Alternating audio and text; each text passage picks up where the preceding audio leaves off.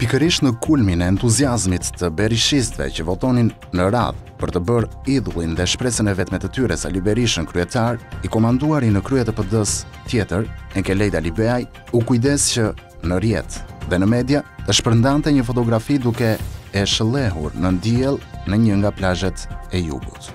Nëse bashkon fotografinë e Berishës së lumtur, afër mesnatës së 22 majit, duke përshëndetur fansat në selinë e PD-së ku u fut sërish si kryetar, që nga hera e parë plot 31 vite, me atë që shfaq relaksin e një njeriu që përfaqëson shumicën e deputetëve dhe një pjesë jo të vogël të demokratëve në bazë, Vjen ndër mend ajo shprehja, ku shkuam asgjëkundi dhe çfarë bëmë asnjë gjë.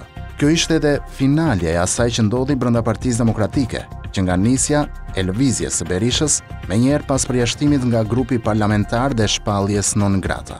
Dihet, pas finaleve, vendin e ekstazës dhe entuziazmit, E zë realiteti i ftohtë për ndeshjet e radhës. Nuk ngjit më gjëkundi që nga 22 maji e tutje retorika e tipit Basha pengu i Ramës. Alibeaj me të mbështetësit pengje të pengut.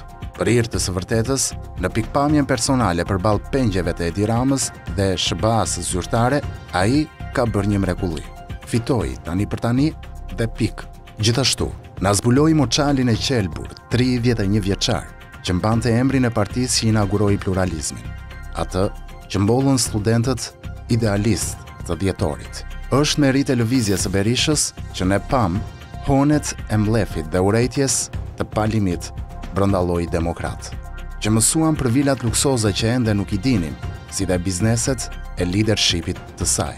Na tregoi nivelin psikologjik një mase të madhe militantësh dhe arsyen e vërtetë se përse elitat nuk qarkullojnë nëpër partitë shqiptare të kalcifikuara sidomos pas marrëveshjes Rama Berisha të vitit 2008. Berisha fitoi dhe festa le të vazhdojë edhe ca kohë. Por çështja pas kësaj është se çfarë do të bëjë ai me këtë fitore. jo për veten, por për Partinë Demokratike dhe gjithë shqiptarët që duan ndryshim.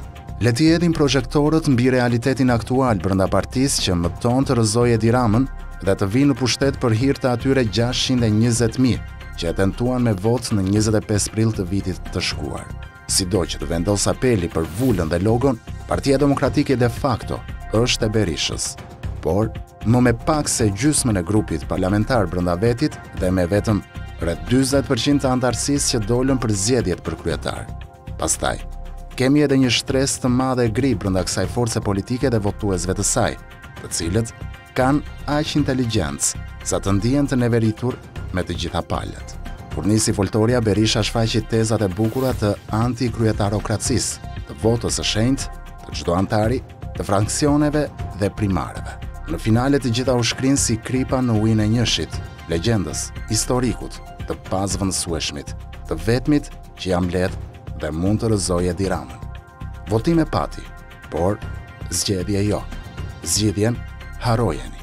Fraksionet as që zihen më në gojë, kurse për sa u përket primareve.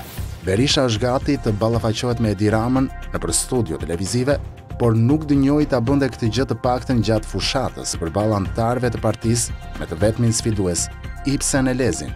edhe pse ky u lut. Jemi konservatorë si republikanët në SHBA, por zyra e marrëdhënieve me publikun dhe median në PD-në e Berishës nuk denjoi të shpërndante ndonjë njoftim për rivalin e Berishës.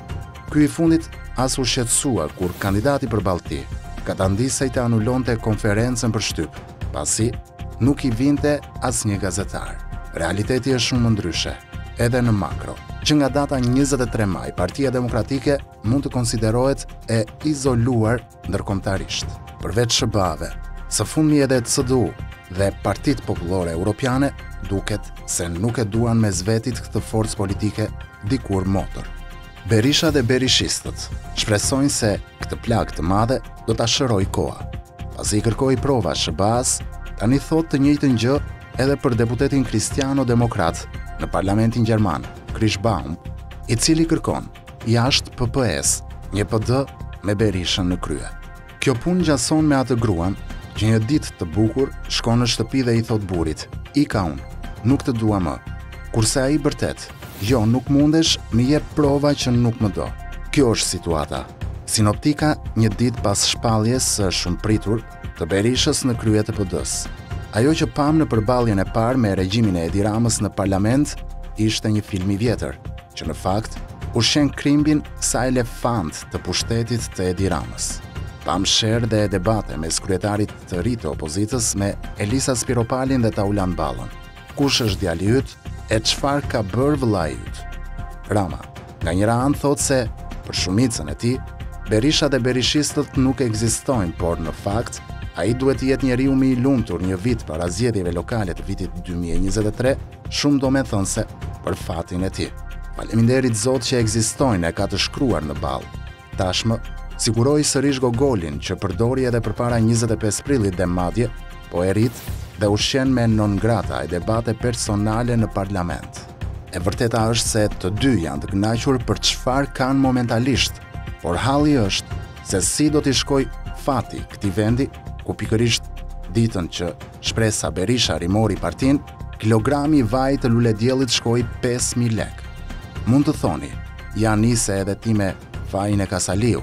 Jo, nuk e ka Berisha, por as Edi Rama i cili me punë, por edhe me fat, mbretëron mbi plehun e vet dhe të kësaj opozite.